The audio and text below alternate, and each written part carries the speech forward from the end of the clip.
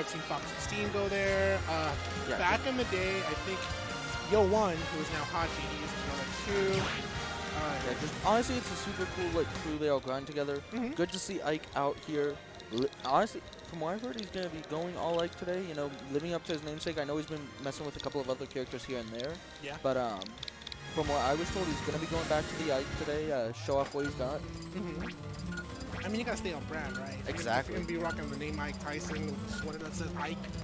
I, dude, I love that with the like Nike swoosh there. Yeah. You know, It was so perfectly timed from Smith too, like the way how he came out with that, like the whole uh, other logos with Smash characters involved. I thought that was really really nice too. Yeah. Shout out to Spiff Space. If you guys want to get, I think the ad should be showing up there if you're in Twitch chat.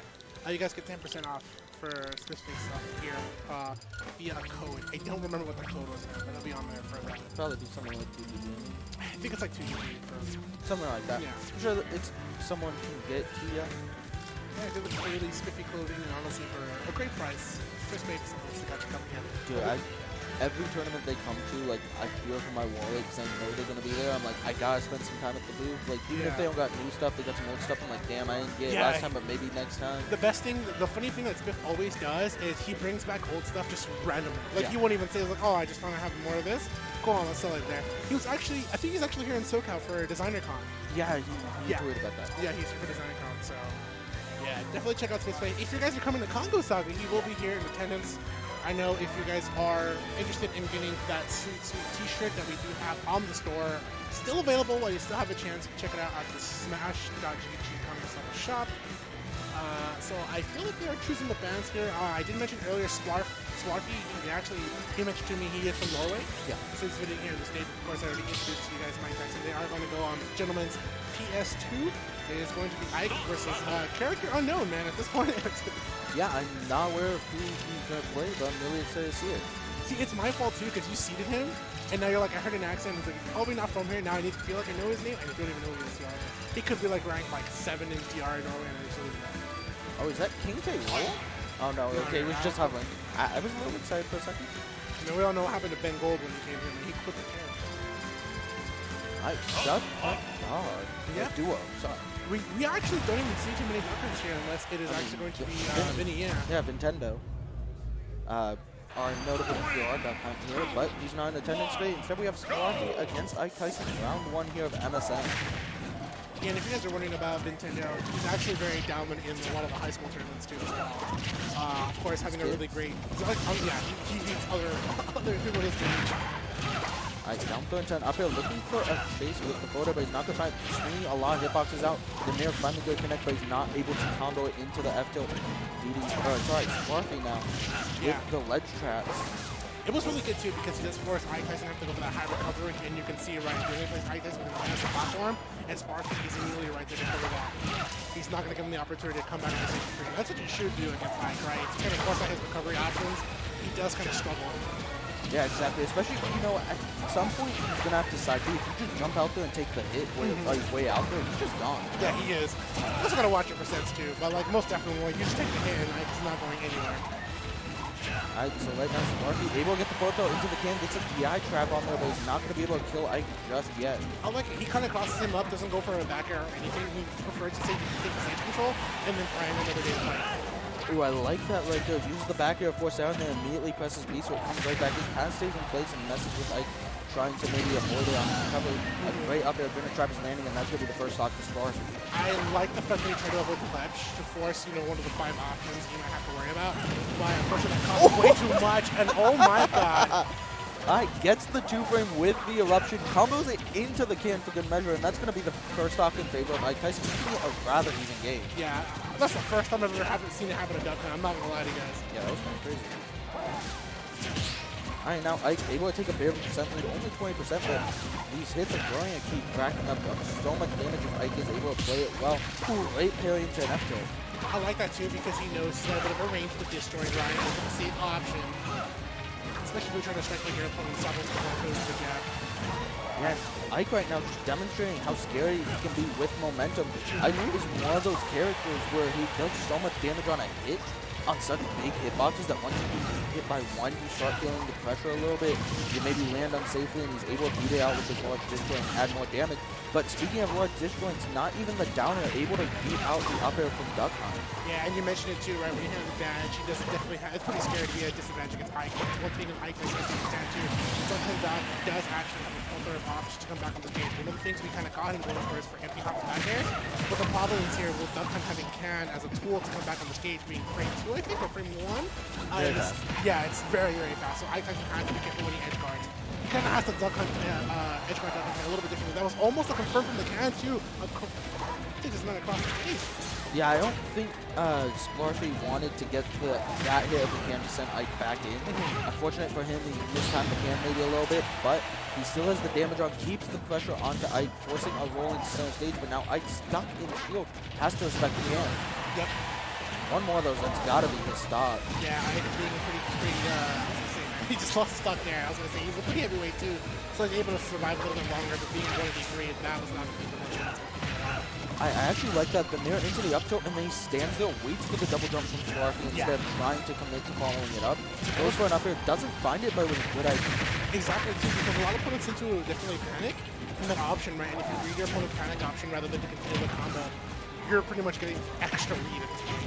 Yeah, and even then just displaying his knowledge of the says, I don't have an actual true follow-up to an up tilt, but, But if people are going to be scared, Yeah. and then I can just punish that instead. If you give me the opportunity, I will.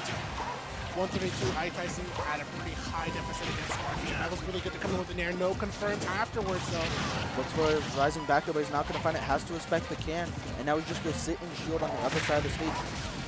Splarfie's Jr. has to start calling out these jumps. Yeah, he is. And he did it a little bit earlier, too, but it's kind of changed up now. Ike Tyson has the stage. He's got to watch out for the count. Like, it backs off from the ledge. He looks for an opportunity for that uh, kind of turnaround for him. Yeah, and that's it. Yeah. Caught Ike jumping. I'm sorry, I felt the can kind of pop him out there, extend her box and her box as well.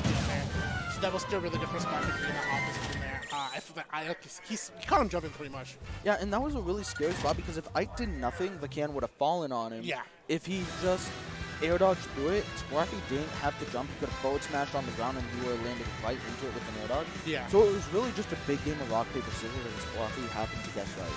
And it's kind of one of those moments where I do wonder myself, is counter something to be played at that position, right? Is it worth going? Because you have to really factor that in, right? If it is that rock, paper, scissors option, when you mix in something like counter, where you have the opportunity to punish your opponent and not worry about the can at the same time, that would have definitely been a play. But like, I, like it's really hard to evaluate. Like, you know, okay, I just, do I go for counter? Is is counter even viable at this opportunity, right? Yeah. Because it's one of the last things in your mind. I usually try to tell people incorporate counter as your last resort option, and to most definitely stop, you know, recoveries that are predictable.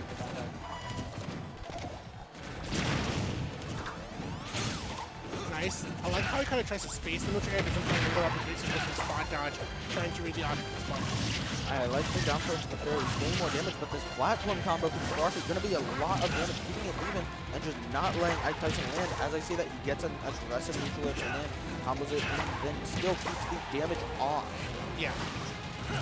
That's what really good. He does actually hit below the stage there, and unfortunately, with Duckon being able to go up there, I think, if I'm not mistaken, the duck is intangible or unintangible anymore. I can't remember. But none, nonetheless, so that was really good for Ike Tyson to understand. Doc and Doc has that one recovery option where he has to commit to going low, right? It's very rare we do see Duckers go high. Yeah, well, I mean, Ducker can air dodge out of his up B now, if I'm not mistaken. Yes. Uh, so maybe that's going to be something we see come out Splarfie to try and at least mix up the timing. it's going to be just as vulnerable to an eruption, but it's at least going to be a different timing. Maybe Ike Tyson won't be ready for it, given one or two free recoveries. Yeah. Ike Tyson was just a solid lead here, especially over Splarfie. Game one went to Splarfie, so Ike was definitely not too far behind. If it wasn't for that jump rate, oh, and the, The tech roll just barely getting behind Splarfie. It was such a good idea, but he just barely misspaces it near into an up air, and he actually crosses up the DI with his faces. ooh, I like that jump at the last second of what you can too. He looks like he got hit out of the hit, so I'm gonna go for the quick draw. Pablo snap the ledge there at the right moment. Nice. I wow, no edge guard from Splarfie. You think the can he thought it was all said and done, but you kind of give Ike the opportunity to come back on stage. Wow, Oh, he low profiled the forward tilt. Yeah, I just pancaked it from the F smash animation. I I feel like if he angled the F tilt down, he would have got it, but Yeah. not something on his mind at that moment. Exactly. Sometimes you find something out new every day. I mean, low profile is this game, and even then, it's so strong. Exactly. Even shield angling too as well. A lot of people forget that you can actually angle your shield to match for working shield poke and some moves. Yeah, it's even easier in this game because uh, the whole double shield macro, or if you press shield and B and you play Exactly. Until you're shielding, you won't roll. I say that because I and I can't do that. But like you say, the double shield macro, right? You can actually hold, if you have two shield buttons set up, you can actually hold both in buttons down, which is a lot easier. Good parry and is able to avoid getting in that range Tyson dog. Ooh, the landing up here. This is- game is so heavily in Ike Tyson's favor. Can Splarfie bring this one back, or will he resign himself to try and win game number three at this point? I like the empty hop here. He doesn't go for a nair, he goes to the forward tilt. at this point. There's the air Yeah. dodge. You mentioned like- Yeah, he tried to mix up his timing, says it's just as vulnerable, but maybe if you like go early, I can air on do it. Ike Tyson was ready for that. He said, I got it last time. There's no way you let me do it again. I'll wait for the air dodge this time. Yeah, most definitely, most definitely. Uh, solid restock for Mike Tyson. 202%, but the resilience to keep on fighting on his first stock. Now I'm really curious where the counterpick from Splarfie is going to go to. He's going to run it right back to PS2. I know he won game number one there, but it was a close game, and he then got restocked on the next one. Like, it's...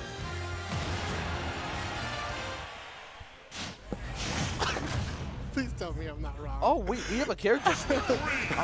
I'm sorry, man. We have some off-screen shenanigans going on here. but let's go into it right here. We do have a character switch. Alright, now I actually like this because I was saying, you know, I don't like they didn't mix up the stage, but if he's gonna change the matchup, maybe that's just enough to change it in the same way, kind of. Yeah, it's going to be a little bit different here for Ike Tyson to understand how Snake works, but I mean, if you don't get to take the opportunity to come with data, that was, okay, so that was really well spaced at the platform because the way Ike spaced the up air Yeah. away to avoid the grenade was really good because if we actually hit the grenade, it would have hit Ike, Yeah. and that would have not been the play here, but Ike kind of knew, okay, I have to watch out if my sword does hit the grenades because it will explode on my face. Now, the thing we saw a lot from the Duck Hunt was that the can kind of cut off part of the stage entirely from. So with two grenades, Snake is going to be able to do something similar, but for less time. So, Yeah. you know, it's kind of the same idea where I'm going to throw one out, and maybe put it on this platform, and now I have a second where he can't jump. And give him a second to regroup. Yeah. I think you're giving him a second. I like the fact that he does take a second to actually set the C4 for a little bit of a mix-up. Echo the landing, gets the nair and able to walk away. And I forced to play this incredibly slowly. Knows if he gets his jump caught by an up tilt, that's going to be him. That was so close. That, that, is, uh, that actually will meet the threshold where it's actually able to beat outside. Yeah, but the thing is, that air dodge now, because of the way it works, the cycle will go through and hit Ike Tyson, and that may be what uh, can change the matchup. Oh, No, he doesn't have a C4. Never mind. This is not a good stock for Splarfie, dying incredibly early to an unfortunate air dodge and not having access to the C4. And Amia answer the run up and up till only one stock behind. Alright, Tyson, kind of, oh I like that. He's in the neutral here. Not only that, he center stage. You don't want Snake to have stage control. PS2 is a very great stage for Snake here, so it works really well for Ike as well. And I de- definitely demonstrate if I give Snake the stage, he has a lot of advantage and a lot of platforms and space to work with, but I also get a lot of benefit from the stage. I, and I'm playing this one so incredibly well, using the platforms to his advantage, spacing around these grenades and not opening willing to stand still and let Splarfie run it. Yeah, in that situation there, we saw him go for a cross up, no aerial, because he kind of already understood Smart He's now starting to understand his neutral air game, and he's been definitely parrying it quite a few times. There's already two parries there, so I kind of has to mix it up. Right now, Ike just playing so slow, standing there.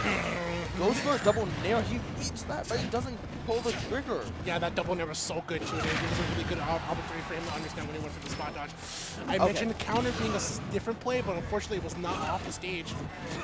I think he was maybe mistiming the grenade explosion. Thought, hmm. you know what, you can't do anything about the timing on this one. Right. So it'll be a good play, but he mistimed it himself. And the dash attack, that'll do it. And not only that too, I feel like he also went for counter anticipating the actual score or the grenade because the way that Smart gets himself out to, it's better to go